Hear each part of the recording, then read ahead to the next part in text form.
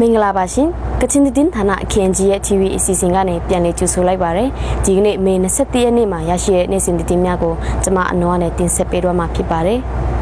ကချင်စစ်ရှောင်များနေရပြန်နိုင်ရင်အစိုးရအမျိုးသားပြန်လည်တည်မြဲရေးနဲ့ငင်းချမ်းရေးဗဟိုဌာန NRPC နဲ့ကချင်လူသားချင်းစာနာထောက်ထားမှုအဖွဲ့ KHCC တို့လာမယ့်24ရက်နေ့မြကြီးနားမှာတွေ့ဆုံဆွေးနွေးသွားမယ့်အကြောင်းသိရပါတယ်။ NRPC ကိုယ်စားလှယ်များမြစ်ကြီးနားကိုရောက်လာပြီး KHCC နဲ့ဆွေးနွေးပြီးနောက်မှာတော့နေရက်ပြန်နိုင်မယ့်ကြေးရွာများကိုလည်းတရှိရတော့မှာဖြစ်ပါတယ်။ KHCC ကတော့စစ်ဆောင်တွေကိုနိုင်ငံတကာစံချင်းဆိုင်ညွှန်အတိုင်းနေရက်ပြန်စေလိုကြောင်းပြောပါတယ်။ဖက်ကလုံခင်းကျေးရွာရက်ကွက်ငါဂန်ဝင်ချန်ရက်ကွက်ကိုတက်ဆိုင်ရာအစိုးရဝန်ထမ်းတွေကယတနာကြဖြူကုမ္ပဏီအားလုကွက်ချပေးလိုက်တဲ့အတွက်အခုလ22ရက်နေ့မှာကြေးရွာသား30ခန့်စန္ဒပေါ်တုတ်သွားမယ်လို့သိရပါတယ်။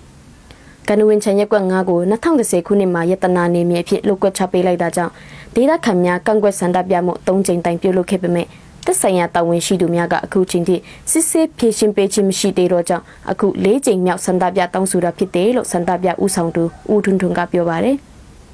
စန္ဒဖော်ထုတ်ရသည့်ကြောင့်မြတ်ဥပဒေကိုလိုက်နာခြင်းမရှိဘဲမတရားမြေသိမ်းလုတ်ကွက်ဆဲခဲ့တဲ့ယတနာရွှေကြကုမ္ပဏီကိုစစ်ဆေးအရေးယူပေးရန်နဲ့ကုမ္ပဏီတွေကိုလုတ်ကွက်ချပေးခဲ့တဲ့အစိုးရဝန်ထမ်းတွေကိုစစ်ဆေးဖော်ထုတ်ပေးရန်စားတဲ့အချက်တွေကို V9 ကင်ဆောင်ကစန္ဒဖော်ထုတ်သွားမှာဖြစ်ကြောင်းကိုပြောဆိုသွားပါတယ်။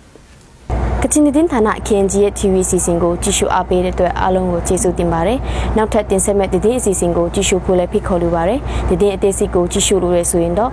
www.kachinnews.com မှာဝင်ရောက်ဖတ်ရှုနိုင်ပါတယ်။အားလုံးကိုကျေးဇူးတင်ပါတယ်။